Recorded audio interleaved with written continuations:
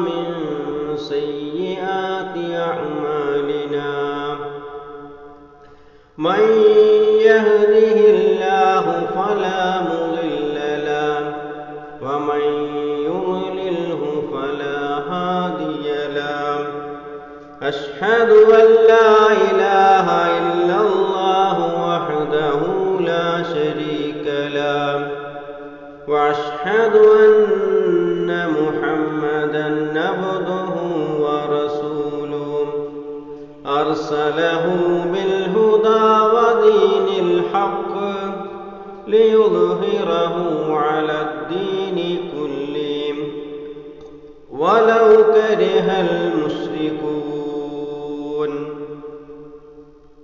اللهم صل على محمد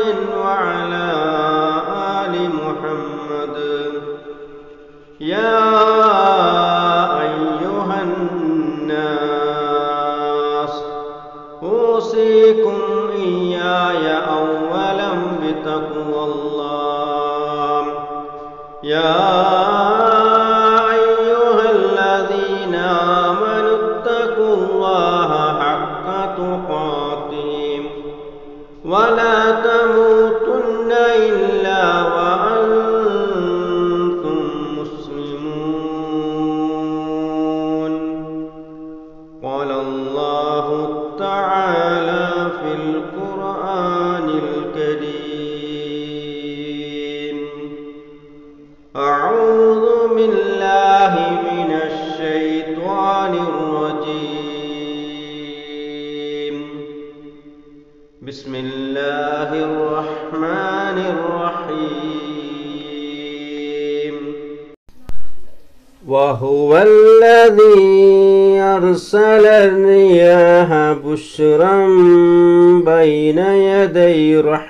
رحمته وأنزلنا من السماء ماء طهورا صدق الله العلي العظيم ഏറെ സ്നേഹമുള്ള സത്യവിശ്വാസികളെ വിശ്വാസിനികളെ അള്ളാഹുവിൻ്റെ വിധികളും വിലക്കുകളും ജീവിതത്തിന്റെ മുഴുവൻ മേഖലകളിലും പാലിച്ചു. യഥാർത്ഥ സത്യവിശ്വാസിയായിക്കൊണ്ട് ജീവിച്ചു. പടച്ചവൻ തയ്യാറാക്കിയ സ്വർഗത്തിലേക്ക് എത്തിപ്പെടുവാൻ കഴിവിന്റെ പരമാവധി പരിശ്രമിക്കണമേ എന്ന് എന്നെയും നിങ്ങളെയും തക്കുവ കൊണ്ട് വസീയത്ത് ചെയ്യുകയാണ് ഉപദേശിക്കുകയാണ്. അള്ളാഹുവിന്റെ മാർഗത്തിൽ ജീവിക്കുവാനും അവന്റെ മാർഗത്തിൽ തന്നെ ഈ ലോകത്തു നിന്ന് വിട പറയുവാനുമുള്ള എല്ലാ സൗഭാഗ്യവും റബ്ബുൽ ഇസ്സത്ത് നമുക്ക് ഏവർക്കും നൽകുമാറാകട്ടെ. അള്ളാഹുവിന്റെ അപാരമായ അനുഗ്രഹങ്ങളെ ആസ്വദിച്ചുകൊണ്ടാണ് നാം എല്ലാവരും ജീവിച്ചുകൊണ്ടിരിക്കുന്നത്.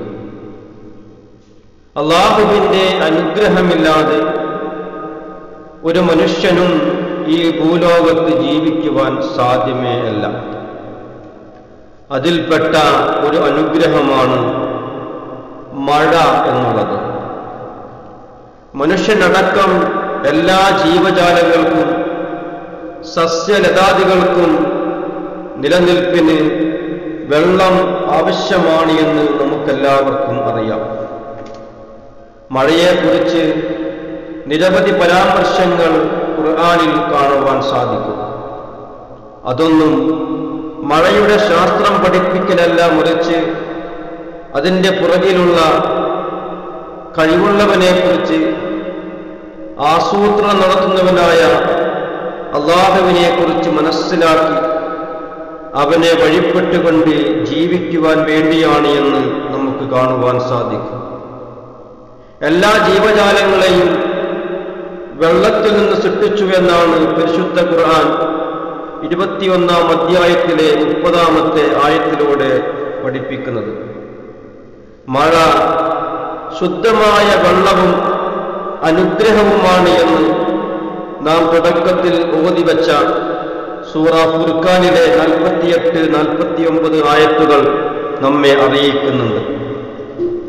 കലർപ്പില്ലാത്ത ശുദ്ധമായ വെള്ളം എന്ന രൂപത്തിലാണ് സൂറ ഫുർഖാനിൽ മാ അൻ തൊഹൂറ എന്ന് പറഞ്ഞത്. സ്വയം ശുദ്ധിയുള്ളതും മറ്റൊന്നിനെ ശുദ്ധീകരിക്കുവാൻ പറ്റുന്നതുമായ വെള്ളത്തിനാണല്ലോ നാം തൊഹൂറായ വെള്ളമെന്ന് പറയാം മഴവെള്ളം കലർപ്പില്ലാത്ത ഈ ഭൂമിയിൽ ലഭിക്കുന്ന ഏറ്റവും ശുദ്ധമായ വെള്ളം ഏതാണെന്ന് ചോദിച്ചാൽ സംശയമില്ലാതെ നമുക്ക് പറയുവാൻ സാധിക്കും അത് മഴവെള്ളമാണ് എന്ന്. മഴവെള്ളം ഏത് ഭൂമിയിലാണോ പതിക്കുന്നത്? ആ ഭൂമിയുടെ സ്വഭാവവും ആ ഭൂമിയുടെ അവസ്ഥകളും അനുസരിച്ചുകൊണ്ട് ആ വെള്ളത്തിന് മാറ്റം സംഭവിക്കുന്നതായി നമുക്ക് കാണുവാൻ സാധിക്കും.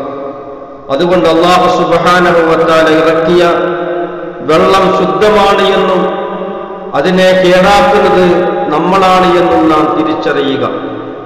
നമ്മുടെ കേരളം ദൈവ അനുഗ്രഹമുള്ള നാടാണ് എന്ന് നാം എല്ലാവരും പറയാറുണ്ട്. നാൽപ്പത്തിനാല് നദികളുള്ള പ്രതിവർഷം മൂവായിരം മില്ലിമീറ്ററിലേറെ മഴ ലഭിക്കുന്ന അത് ശേഖരിക്കുവാനായി കിണറുകളും തടാകങ്ങളും കുളങ്ങളും ചാലുകളും തണ്ണീർത്തടങ്ങളും കടലുകളുമായി ബഹുസുന്ദരമായി ഈ ഭൂമിയെ ഈ കേരളത്തെ സജ്ജീകരിച്ചവനാണ് അള്ളാഹു നമുക്ക് നമുക്കെവിടെയെങ്കിലും വെള്ളം കിട്ടുന്നില്ല എന്ന് പരാതിയുണ്ട് എങ്കിൽ അള്ളാഹു സുബാനഹവത്താല ഇറക്കിയ വെള്ളത്തെ നാം ഉപയോഗപ്പെടുത്തുന്ന കാര്യത്തിൽ നമുക്കുണ്ടായ വീഴ്ചയാണ് എന്ന് നമ്മൾ തിരിച്ചറിയേണ്ടതുണ്ട്. അള്ളാഹു മഴവെള്ളത്തെ ഉദ്ദേശിക്കുന്ന സ്ഥലത്ത് ഇറക്കിക്കൊണ്ടിരിക്കുന്നു എന്ന് ഖുർആാനിക പാഠങ്ങൾ നമ്മെ അറിയിക്കുന്നുണ്ട്.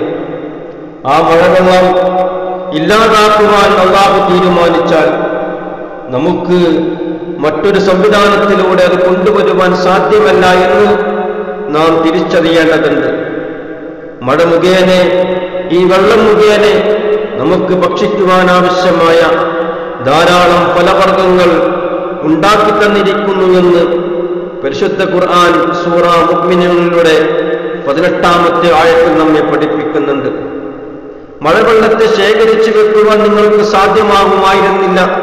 അതിന്റെ സംവിധാനമൊക്കെയും അള്ളാഹു സുബാനുഭവത്താല ഈ പെയ്യുന്ന മുഴുവൻ വെള്ളത്തെയും ശേഖരിക്കുവാൻ പാകത്തിൽ ഭൂമിയെ സജ്ജമാക്കിയത് നമ്മുടെ റബ്ബാണ്. നമ്മളത് കുടിക്കുന്നു. നാം ഒരു വിലയും കൊടുക്കാതെ. മനുഷ്യൻ ചിന്തിക്കേണ്ടുന്ന കാര്യമാണ്. മനുഷ്യൻ കുടിക്കുന്ന വെള്ളത്തെക്കുറിച്ച് ചിന്തിക്കും ചിന്തിക്കുന്നില്ല എന്ന് സൂറ വാക്കയിലൂടെ അള്ളാഹു നമ്മെ ഓർമ്മിപ്പിക്കുന്നുണ്ട്. അതിനെ ഉപ്പുള്ള വെള്ളമാക്കിയിരുന്നുവെങ്കിൽ എങ്ങനെയാണോ നിങ്ങൾക്ക് ശുദ്ധമായ വെള്ളം ആര് കൊണ്ടുത്തരുമെന്ന് അള്ളാഹുവിന്റെ ചോദ്യം നമ്മുടെ കണ്ണുകളെ തുറപ്പിക്കേണ്ടതുണ്ട് അതുകൊണ്ട് അള്ളാഹു നൽകിയ ഈ അനുഗ്രഹങ്ങൾക്ക് നന്ദി കാണിക്കുവാൻ നമുക്ക് സാധിക്കേണ്ടതുണ്ട്. അള്ളാഹുവിനെ മാത്രം വണങ്ങി വണങ്ങി ജീവിക്കുവാൻ അള്ളാഹുവിന്റെ അനുഗ്രഹങ്ങൾ സ്വീകരിക്കുന്ന നമുക്ക് കഴിയേണ്ടതുണ്ട് എന്നുള്ളതാണ് ഈ അനുഗ്രഹങ്ങൾ സ്വീകരിക്കുമ്പോൾ നമ്മുടെ മനസ്സിലേക്ക് വരേണ്ടുന്ന വലിയ ഒരു കാര്യം. അള്ളാഹുവിന്റെ കഴിവുകളിലും അധികാരത്തിലും മറ്റൊരു ശക്തിയെയും പങ്കാളിയാക്കി വെക്കുവാൻ നമുക്ക് അവകാശമില്ല എന്ന് ഖുർആൻ വളരെ ഗൗരവമായി പഠിപ്പിക്കുന്ന ഒരു വിഷയമാണ്. മനുഷ്യനൊഴിച്ചുള്ള ജീവജാലങ്ങൾക്കും അനുഗ്രഹമാണ് ഈ വെള്ളം എന്ന് നമുക്ക് കാണുവാൻ സാധിക്കും. മനുഷ്യൻ എത്രമാത്രം സമ്പത്തുള്ളവനാണ് എങ്കിലും അവന് വെള്ളമില്ലാത്ത അവസ്ഥയെക്കുറിച്ച് ചിന്തിക്കാൻ പോലും പറ്റാത്ത അത്രമാത്രം മനുഷ്യൻ വെള്ളവുമായി അഭേദ്യമായ ബന്ധമുണ്ട് എന്ന് നമുക്ക് കാണുവാൻ സാധിക്കും. മനുഷ്യന്റെ സമ്പത്തിനോടുള്ള ആർത്തി മൂലം ഈ വിധ അനുഗ്രഹങ്ങളുടെ ഉറവകളെ വറ്റിച്ചുകൊണ്ട് താൻ ജീവിക്കുന്ന കാലഘട്ടത്തിൽ തനിക്ക് ആ സമ്പത്ത് ആ വെള്ളത്തിലൂടെ സമ്പത്ത് കൈക്കലാക്കുവാൻ വേണ്ടി പ്രകൃതിയെയും മനുഷ്യനെയും വരുന്ന തലമുറകളെയും ഒക്കെ ചൂഷണം ചെയ്യുന്ന രീതി നാം സ്വീകരിച്ചാൽ പടച്ചവനോട് സമൂഹത്തോട് നാം കണക്ക് പറയേണ്ടി വരും എന്ന് നാം തിരിച്ചറിയേണ്ടതുണ്ട്. വൃക്ഷങ്ങൾ നശിപ്പിക്കുന്ന കുന്നുകൾ വെട്ടിനശിപ്പിക്കുന്ന തണ്ണീർത്തടങ്ങളും ജലസംഭരണികളും ഒക്കെ മണ്ണിട്ട് നികത്തുന്ന രീതിയിലേക്ക് നമ്മുടെ സമൂഹം മാറിയിട്ടുണ്ട് എങ്കിൽ വരുന്ന തലമുറയ്ക്ക് ജീവിക്കുവാൻ പ്രയാസമാകുമെന്ന് നാം തിരിച്ചറിയുന്നിടത്താണ് നമ്മുടെ പ്രവർത്തനങ്ങൾ നാം സജ്ജീകരിക്കേണ്ടത്. മനുഷ്യൻ കൂട്ട് കാട്ടിക്കൂട്ടുന്ന അപരാധങ്ങളും അവന്റെ എല്ലാവിധ പ്രവർത്തനങ്ങളുമൊക്കെ ഈ ഭൂമിയെ ആകെ മോശമാക്കിയിരിക്കുന്നുവെന്ന് നമുക്ക് കാണുവാൻ സാധിക്കും. അതുകൊണ്ട് ഭൂമിയിൽ പതിക്കുന്ന ഓരോ വെള്ളത്തിന്റെയും നിറവും മണവും രുചിയും ഒന്നായിട്ട് പോലും അത് ഏത് ചെടിയുടെ താഴെ ഭാഗത്തേക്കാണോ എത്തിപ്പെടുക അതനുസരിച്ചുകൊണ്ട് അതിന്റെ നിറങ്ങളിലും മണങ്ങളിലും വൈവിധ്യങ്ങളായ നിറ വൈവിധ്യങ്ങളോടുകൂടി പ്രപഞ്ചത്തെ സജ്ജീകരിച്ചവനാണ് പടച്ചവനെന്ന് നാം തിരിച്ചറിയേണ്ടതുണ്ട്. മഴ എന്നുള്ളത് അനുഗ്രഹമായിട്ട് ഖുർആൻ പഠിപ്പിക്കുന്നുണ്ട്. മനുഷ്യന് മുബാറക്കയായിക്കൊണ്ട് അനുഗ്രഹീതമായ വെള്ളമായിട്ട് പരിശുദ്ധ ഖുർആൻ സൂറ കാഫിലെ ഒമ്പതാമത്തെ ആയത്തിൽ നമുക്ക് പഠിപ്പിക്കുന്നു.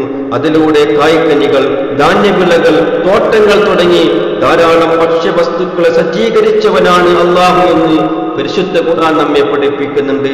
നമുക്ക് ലഭിച്ച ഈ അനുഗ്രഹമാകുന്ന മുബാറക്കയാകുന്ന ഈ മഴയെ കുറിച്ച് പരിശുദ്ധ ഖുർആൻ മറ്റൊരു ഭാഗത്ത് പഠിപ്പിച്ചത് നിങ്ങൾക്കുള്ള ഉദാഹരണമായിട്ടാണ്.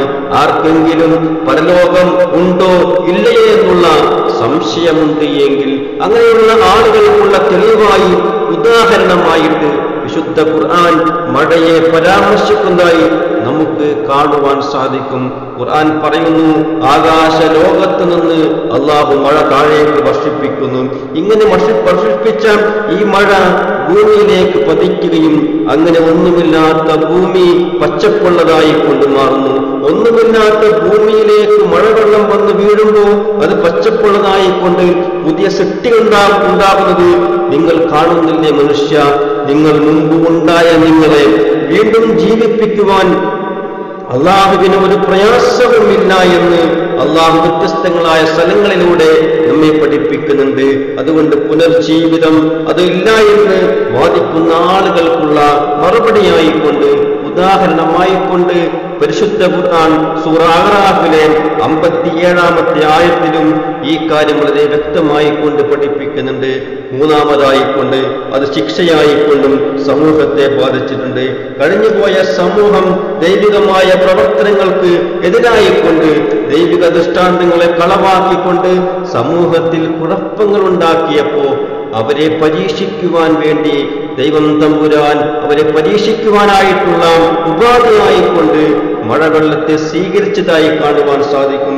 നമ്മുടെ കാലഘട്ടത്തിലും വെള്ളപ്പൊക്കത്തിന്റെ കെടുതികളെ കുറിച്ച് പറഞ്ഞറിയിക്കാത്ത വിധം തന്നെ അതിനെ അനുഭവിച്ച ആളുകൾ കൂടിയാണ് നാം രണ്ടായിരത്തി പതിനെട്ടിലും പത്തൊമ്പതിലുമൊക്കെ വെള്ളപ്പൊക്കം നമ്മെ എത്രമാത്രം പ്രയാസപ്പെടുത്തിയെന്ന് നമുക്ക് കണ്ടെത്തുവാൻ സാധിക്കും.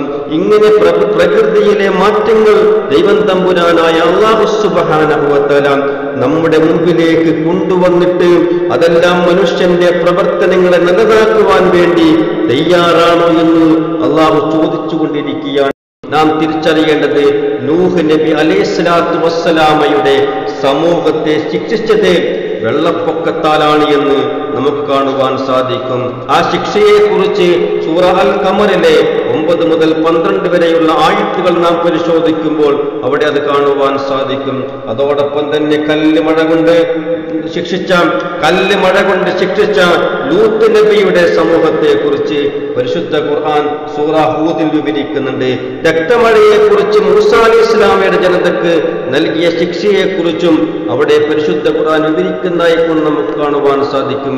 ഈ അർത്ഥത്തിൽ അള്ളാഹു സുബഹാനഹുവത്തലാം നമുക്ക് നൽകിയ ഈ അനുഗ്രഹമാകുന്ന വെള്ളത്തെ എല്ലാ ജീവജാലങ്ങൾക്കും ആവശ്യമായ ഈ വെള്ളത്തെ കാത്തു സൂക്ഷിക്കുവാൻ നന്ദി കാണിക്കുവാൻ നമുക്ക് സാധിക്കേണ്ടതുണ്ട്.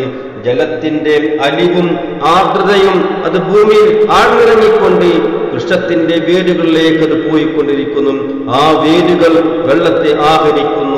സൂര്യതാപത്തിന്റെ ഫലമായി കൊണ്ട് മേലോട്ട് ഉയർന്നിരിക്കുന്ന വൃക്ഷത്തിന്റെ ഉയരങ്ങളിലേക്ക് ആ വെള്ളത്തിന്റെ അംശങ്ങൾ എത്തിച്ചേരുന്നു എന്ന് നാം പഠനവിധേയമാക്കുമ്പോൾ കാണുവാൻ സാധിക്കും. ജീവജാലങ്ങൾക്ക് ദഹന പ്രക്രിയ നടക്കുവാൻ ജലപാനം ആവശ്യമാണ് എന്ന് നമുക്കെല്ലാവർക്കും അറിയാം. ആ ജലപാനം എന്നുള്ളത് സ്വാദിഷ്ടമായ വെള്ളമാക്കി മാറ്റിയിരിക്കുന്നു എന്നുള്ളത് നാം തിരിച്ചറിയേണ്ടുന്ന കാര്യമാണ്. നമ്മുടെ ദാഹം തീർക്കുവാൻ നമുക്ക് ആശ്വാസമാകുവാൻ ആനന്ദമാകുവാൻ എല്ലാം വെള്ളത്തിന്റെ ആവശ്യതയെക്കുറിച്ച് നമ്മളോട് ആരോടും പറഞ്ഞറിയിക്കേണ്ടതില്ല. നമ്മുടെ വസ്ത്രത്തെ നമ്മുടെ ശരീരത്തെ അഴുക്കുകളെ വൃത്തിയാക്കുവാൻ ജലത്തിനുള്ള പങ്ക് നാം എല്ലാ ദിവസവും അനുഭവിച്ചുകൊണ്ട് അറിയുന്ന ആളുകളാണ്. കെട്ടിട നിർമ്മാണത്തിന് തീയണക്കുവാൻ വേണ്ടി മരണാസന്നമായ രോഗികൾ തൊണ്ട വരൾച്ച മാറ്റുന്നതിന് വേണ്ടി ക്ഷീണിച്ചു വലഞ്ഞ ആളുകൾ ഒന്ന് കുളിച്ചാൽ ആശ്വാസമുണ്ടാകുന്ന ഈ വെള്ളത്തെക്കുറിച്ച് പാചകം ചെയ്യുവാൻ ഇങ്ങനെ തുടങ്ങി മനുഷ്യ ജീവിതത്തിൽ ആ വെള്ളത്തിന്റെ സ്വാധീനവും ലഭ്യതയും അതിന്റെ അതിന്റെ പ്രയോജനവും ഒക്കെ മനുഷ്യനോട് പറഞ്ഞറിയിക്കേണ്ട വിധമില്ലാത്ത രീതിയിൽ നമ്മളുമായി കൊണ്ട് ബന്ധപ്പെട്ടിരിക്കുന്നുവെന്ന് നമുക്കെല്ലാവർക്കും അറിയാം. അതുകൊണ്ട് ദൈവം തമ്പുരാൻ അള്ളാഹുസുബാനുഭവത്താല നമുക്ക് നൽകിയ ഈ മഹാനുഗ്രഹത്തിന് നന്ദിയുള്ള അടിമകളായി കൊണ്ട് ജീവിക്കുവാനും അള്ളാഹുവിന്റെ അനുഗ്രഹങ്ങൾക്ക് നന്ദി സൂചിപ്പിച്ചുകൊണ്ട് പടച്ചവന്റെ മുമ്പിൽ നന്ദിയുള്ള അടിമകളായി കൊണ്ട് തീരുവാനും അള്ളാഹു സുബാനഹുവത്തല നാം ഏവരെയും അനുഗ്രഹിക്കുമാറാകട്ടെ. നമ്മെ ബാധിച്ചുകൊണ്ടിരിക്കുന്ന മഹാമാരിയിൽ നിന്ന് അള്ളാഹു സുബാനുഭവത്താല കാത്തുരക്ഷിക്കുമാറാകട്ടെ.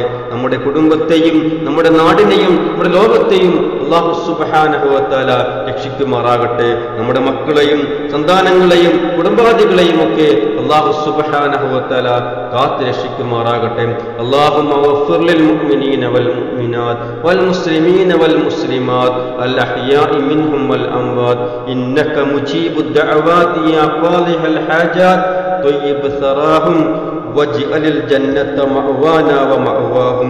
اللهم أجرنا من النار اللهم أجرنا من النار اللهم أجرنا من النار. ربنا تقبل منا إنك أنت السميع العليم. وتب علينا إنك أنت التواب الرحيم.